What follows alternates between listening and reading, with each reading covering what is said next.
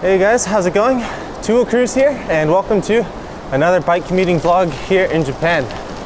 Today we're going to be talking about fall commuting and winter commuting. So, what clothes do you want to wear? What clothes are good to wear? What do I recommend? I've been getting this question a lot on the channel recently as the temperature starts to get cooler, and we're a bit behind a lot of you other countries out there here in Japan. The temperature here still isn't too bad. This week is actually my first week riding in kind of fallish clothes, so I got my windbreaker on right now, but I know in some other parts of the world we got fans from all over the world, which is really cool to see. And some of you guys saying it's already super cold there, like 40 degrees Fahrenheit, and that's pretty ridiculous to me right now. Even though I'm from Michigan where it is that cold this time of the year, I've lived in Japan so long now that I've acclimated to the warmer climate and now it's a it's about 16 degrees Celsius and I'm feeling pretty cold but you'll feel that way if you go through a whole summer of 40 degrees Celsius with 100% humidity you lose your strength in the cold weather but I actually really like this weather so I'm really happy to make this video and share what I know with you guys so there's a lot to talk about and we've got a nice beautiful day today, some nice weather. So join along on today's commute and we're gonna be talking about some different clothing options for fall riding and winter riding while we're at it. We might as well do a bit of both. I've got a couple different clothing items that I have personally that I'll show you guys. I'll add them over the video while I'm riding so I can show you guys. It's better than me sitting in front of the camera and talking the whole time, right? So if you prefer these riding vlogs compared to me just sitting in front of a camera, be sure to give the video a like really helps support the video and the channel. Uh, by the way, we've got the local crew here cleaning up. That's one of the great things about Japan. I mentioned this in a previous video. These people are out dedicated, cleaning their areas. Everything really pristine here in Japan. It's one of the really good things about living here. But you can see if we get closer here, we're starting to get some leaves fall to the ground, but still we got plenty of green up there, so we're not even really close to entering the main fall season yet. That's not gonna be here until mid-November. But anyway, let's get into today's topic. So clothing that you wanna wear, and we might as well start from the bottom up. So we'll start with personal wear first, starting with the bottom, your shoes. So the fall, generally depending on how severe your fall gets, you may be fine just wearing your normal cycling shoes. I prefer to commute and wear my mountain bike shoes. So I use my same shoes that I'm wearing now. Once it gets a bit colder though, you'll want to cover your shoes with some either toe covers or full shoe covers. And there's different styles that you can get here. You can get some pretty light, more aero style shoe covers, which are kind of like a windbreaker and they just help warm it up a little bit. But as it gets colder, you can get some more serious winter style shoe covers and you'll really want a pair of those if you're gonna be riding in the winter. I don't have anything on like that right now though, still not nearly that cold here. Moving up onto the legs, there's actually quite a few options here. So you can get some leg warmers, you can get knee warmers, you can get different materials of your leg or knee warmers. You can get fleece, you can get wool, you can get pretty much anything that you want. We actually have some pretty cool knee warmers, custom design. Only two made in the world are custom Taiyaki knee warmers, and we love these. I've actually also got a pair of knicker shorts. So the kind of annoying thing about knee warmers and leg warmers is you have to put them on, take them off separately. But that's actually a nice thing because if you get overheated, you can take them off if you don't need them anymore. The other option is some knicker shorts or full on bib tights that go all the way down. The disadvantage being, of course, that you can't take those off if you get too hot, but it is a little bit more simple to manage. Got everyone out here on the morning commute.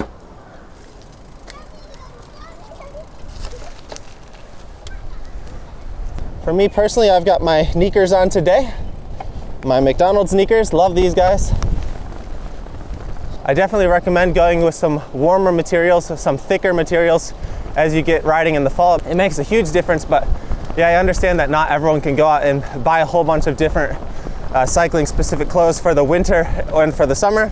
So next up, let's go on to the upper body. So I'm actually wearing my normal cycling jersey that I always wear. So the same jersey I'll wear in the summer and the good thing about that is you can just wear your normal summer jerseys and then just cover them with a separate jacket or even a separate long sleeve jersey of some sort. So again, there's just infinite options here. The windbreakers are really nice for days like today where it's not too cold, it's a bit windy, and it helps you stay a bit more comfortable so you can go a bit harder without having to worry about overheating. I've actually also got a nice fleece long sleeve wheel cruise jersey, and that jersey is actually a little bit too warm, so if I go a little bit hard to do some efforts on this commute, I'll be heating up a little bit too much in that jersey right now. And you can just, and you can wear long sleeve jerseys just as it is, so you can stay a little bit cooler, or you can wear the short sleeve jersey underneath the long sleeve jersey. It's really up to you what combination you wanna have. And for me, right now and today, I'm just wearing a normal short sleeve jersey with the windbreaker. Nice and simple. I can take off the windbreaker if I get too hot, which might actually happen because as you can see, the sun's getting stronger and when I start my commute, it's basically the coldest point of the day and halfway through the commute, it'll be a, a lot warmer. So I actually end up taking this jacket off right now at this point halfway through my ride because I get too hot. But today's a bit cooler than it has been in other days, so I might actually not have to take it off. So every day is different and you just gotta kind of figure out what works for you. You can of course wear a normal jacket. Actually for my first few years living here in Japan, I just wore a normal sports windbreaker and the great thing about those, you can get them from Uniqlo here for like 3,000 yen. It's way cheaper than any sports brand and it works just as good honestly. It might be a little bit less cycling fashionable, but it does the job and you can save some money there. And of course, in addition to all the jackets we've talked about so far, you can add on like a normal winter jacket, a winter cycling jacket, and even just a normal winter jacket. Like if that's all you have, there's no need to buy like a cycling specific winter jacket if you're perfectly comfortable. Oh man, check this out. These guys are out here all the time. This is the first time I've seen them on this tall one. That's crazy. That was really cool. wow. Yeah, these guys are out here on their unicycles every day practicing. They're out here normally on these sides and love their dedication. They're out here literally every day. That's one of the cool things about doing this daily commute is you come to, you sometimes see the same people over and over again at the same times every day. It's pretty interesting. Continuing on the extension of the upper body, next we have our hands. And I actually am not wearing gloves today. And I kind of regretted it at the beginning of my ride because it was a bit colder than I was expecting. And I like to hold off as long as I can. I get a lot of comments on the channel like, Cruise, why don't you wear gloves? And it's just a personal preference. Like I overheat way too easily. I naturally have a pretty high body temperature. So I try to wear as minimal clothing as possible. My idea being that if I'm cold, I can just ride harder and warm up. But the opposite is not true. If you're too hot, you can't always take off clothing or it's a bit of a pain to take off the clothing. So I don't wear gloves right now, but again, there's tons of options. Short sleeve, short finger gloves, lightweight, long finger gloves, uh, more severe style winter gloves, lobster style gloves. The options are endless.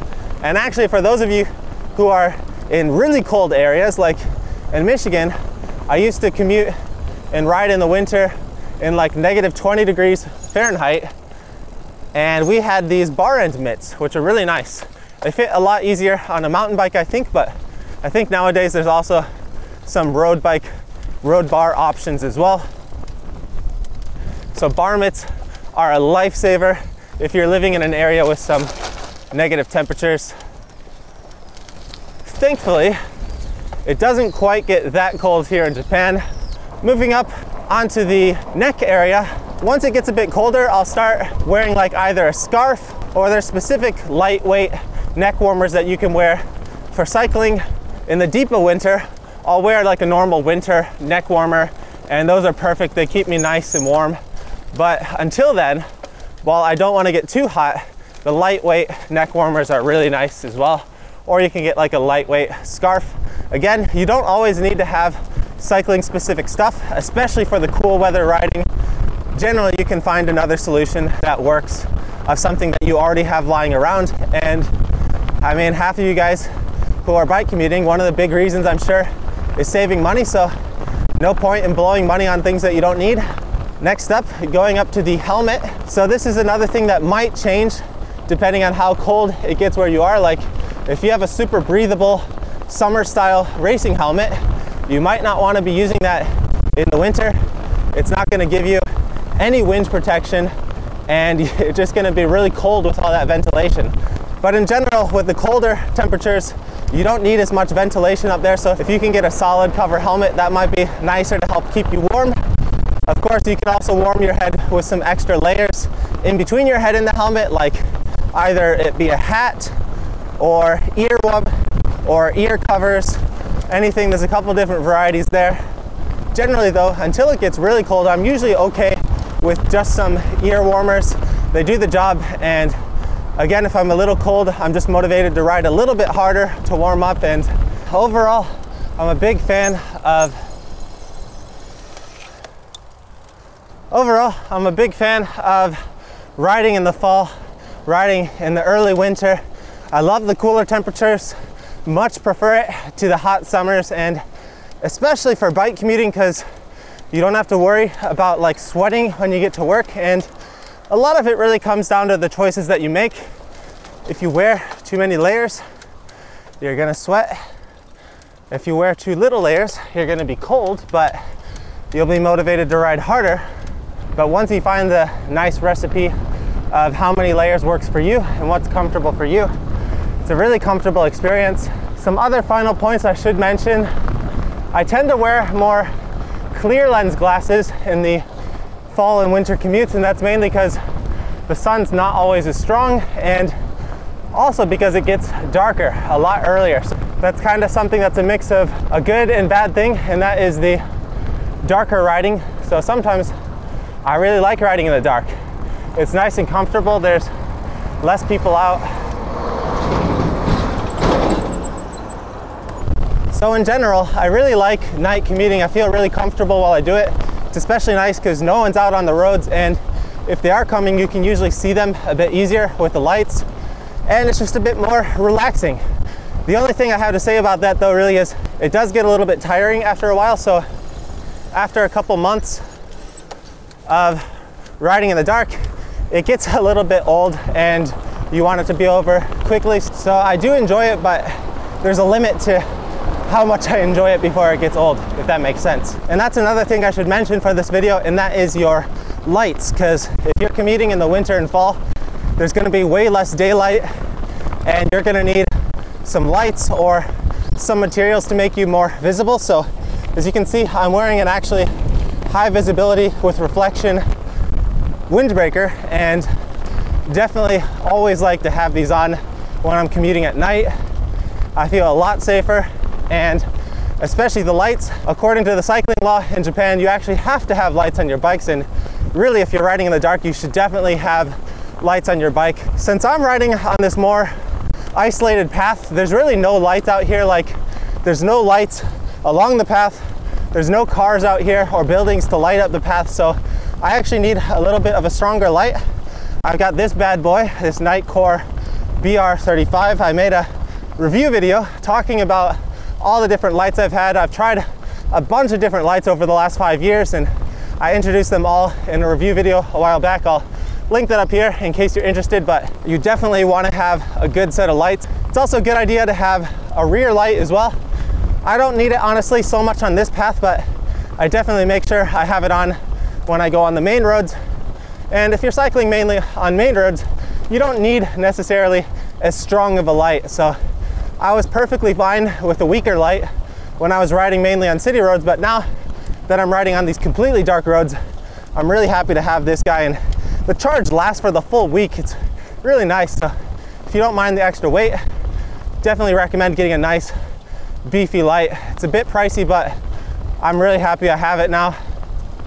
Some other pro tips before we end the video. One of the hardest parts that I find in riding in colder temperatures is keeping your hands warm and keeping your feet warm. Everything else is pretty easy, especially your core. Like if you're riding with a backpack and a jacket, that's gonna insulate all that heat really well and your core is gonna stay really nice and warm. The hardest part is always the hands and the feet. So there's a couple different ways to get around this.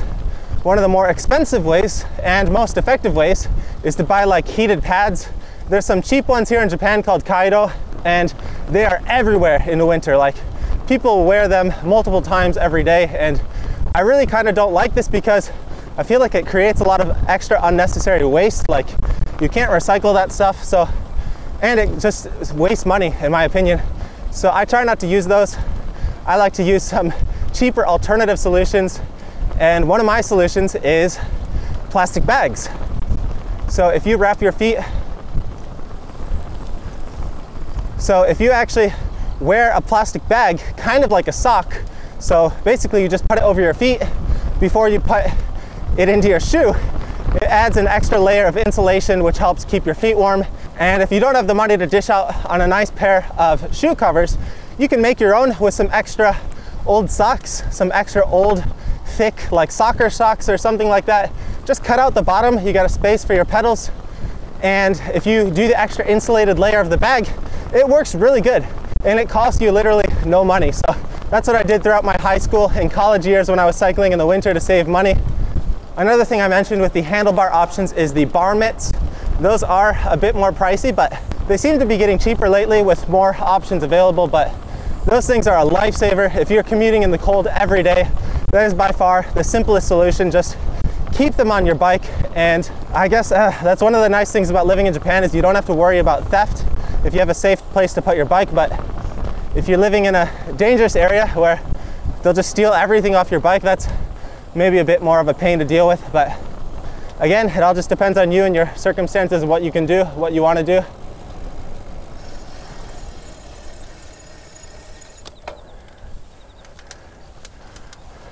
Another story you guys might find funny is when I used to train in the winter, like I used to train really seriously, as some people know on this channel, train and race really seriously. And I made it my goal multiple years to ride every day, like in the winter season. So from January 1st, I would ride at least once every day. I would do a lot of double sessions too. A lot of it inside, but a lot of it outside as well, especially the base miles. And it's really cold in Michigan in the winter. So everyone's out on their mountain bike single speeds.